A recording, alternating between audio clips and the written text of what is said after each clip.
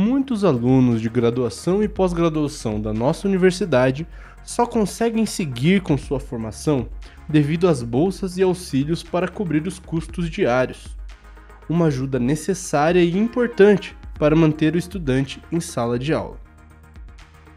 Com a recomposição orçamentária anunciada pelo governo de 2 bilhões e 440 milhões de reais destinada às instituições federais de ensino superior, o reajuste no valor dessas bolsas enfim pôde acontecer.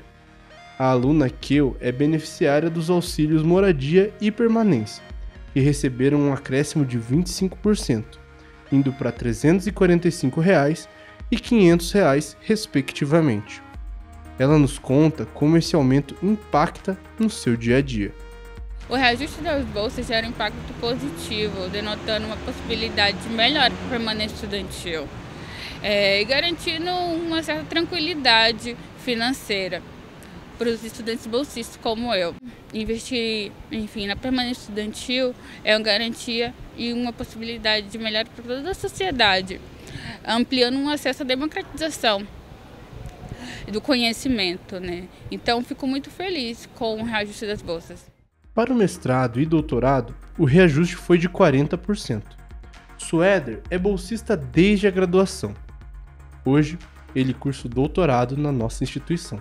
Eu venho de um, histórico já de bolsas, né? Sou bolsista desde o início da graduação, então na época quando a bolsa de iniciação científica era 400 reais, é, depois mestrado, né, 1.500 e agora no doutorado era até então 2.000 e que eu já esqueci, 2.200 e agora a gente está com 3.100, né? É, eu vejo como um ponto bom, né, porque a gente às vezes tem que se deslocar até a universidade, é, claro, a gente tem o RU, tem outras, é, outras saídas né, que, que barateiam esse custo de vida, né, com comida, enfim, alimentação, mas né, a gente tem que estar comprando livros, a gente tem que estar sempre é, né, eventos, gastando com eventos. Claro que o programa ajuda dentro da verba dele também, mas não é suficiente.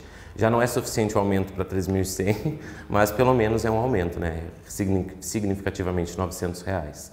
Né, por mais que 12 anos não dê conta desses 900, é, é alguma coisa, né? Então, não, acho que não falo que fico feliz porque na verdade é uma obrigação, então não tem que, né? que bom que aconteceu, né? Antes tarde do que nunca mas poderia e deveria ser um pouco mais ainda, né? É muito importante entender que as bolsas são parte relevante e muitas vezes a única fonte de renda desses estudantes, que não podem ter vínculo de emprego durante esse período.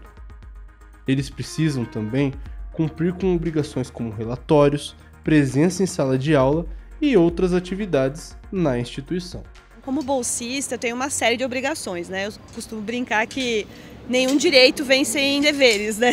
Então, como bolsista, no caso do nosso programa, que é um programa que anualmente as bolsas são renovadas, a gente tem uma, uma tabela, né? Uma tabelinha que a gente tem que cumprir. Então, a gente precisa apresentar em eventos, a gente precisa publicar artigos, a gente precisa dar cursos livres, precisa, então, construir né, a nossa pesquisa na extensão, é, dentro da universidade e também dentro do curso. Então, os meus deveres são basicamente fazer, executar a minha pesquisa né, dentro do tempo programado, mas também fazer que essa pesquisa circule né, fora da universidade, entre os alunos de graduação. Então a gente tem uma série de deveres, a prática de docência que não pode faltar. Então a gente tem uma série de deveres em relação à nossa pesquisa, para que ela seja uma pesquisa que traga, né, que traga uma produção do Brasil. As bolsas são essenciais para as etapas de produção de conhecimento na universidade. Segunda, que veio de Guiné-Bissau, é mestranda e reforça o papel desse investimento na ciência. Eu diria que a bolsa é, é o início de tudo. É o começo da ciência, é da pesquisa, porque é com a bolsa que a gente consegue manter o pesquisador dentro da universidade. Porque não tem como é, ter uma, uma, uma pesquisa sem investimento. Investimento com investimento, vamos nos é, fortalecendo para essa pesquisa que hoje é, o Brasil precisa e o mundo também. Né? Então, a Bolsa, para mim, é muito essencial e para é, termos uma sociedade é, de pesquisadores que vão descobrindo muitas coisas. O nosso reitor, Ricardo Marcelo Fonseca, que também preside a Associação Nacional dos Dirigentes das Instituições Federais de Ensino Superior, Andifes, foi um ator importante na conquista desse reajuste.